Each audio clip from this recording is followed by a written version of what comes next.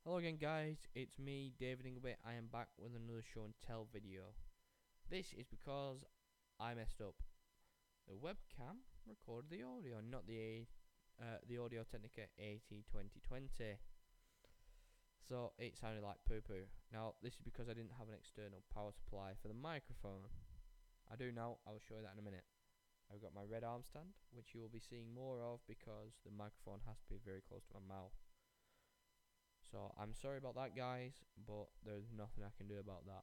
So if I take the webcam, there is the newer 48 volt phantom power supply. There you go.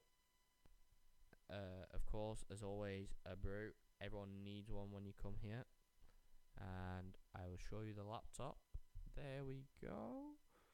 The Lenovo IdeaPad 310 with DDR4 memory, high speed Wi Fi, and an anti dust fan, and an AMD A10 7th gen core.